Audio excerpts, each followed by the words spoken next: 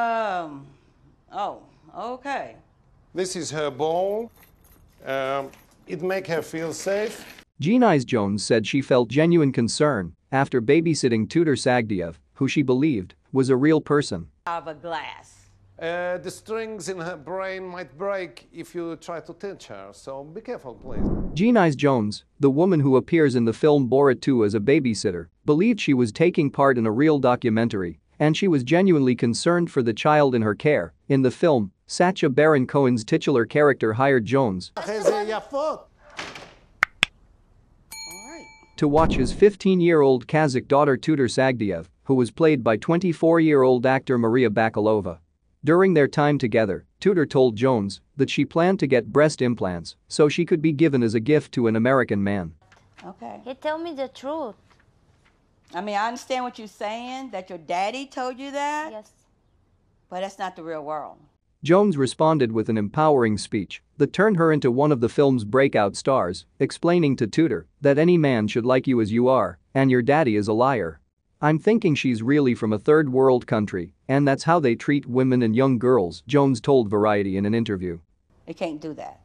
But my daddy told me that. Okay. He tell me the truth. I suggested they take her to a school and let her observe girls in a classroom who can read and write just like boys.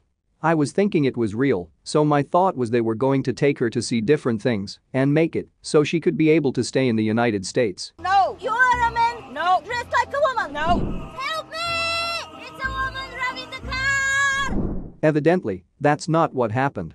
According to Jones pastor Derrick Scobey, the production approached Atlanta's Ebenezer Baptist Church to recruit a black grandmother for a documentary. What kind of surgery?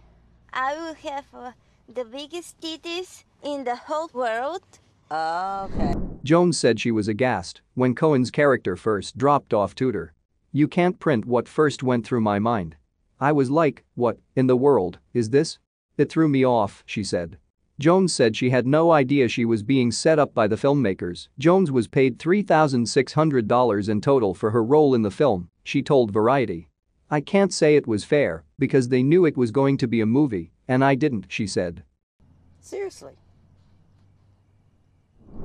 I just thought I was doing a documentary about how we do things in America.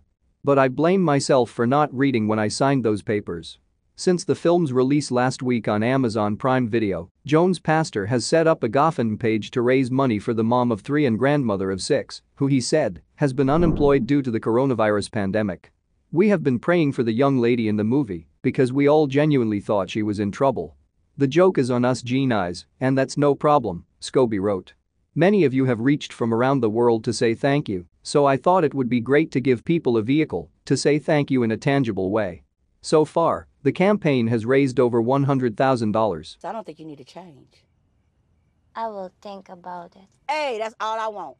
That's all I want. I want you to think about it. That's all I want from you, just to think about it. Hope you liked that video and if you haven't subscribed this channel, do subscribe it and we will see you in the next video.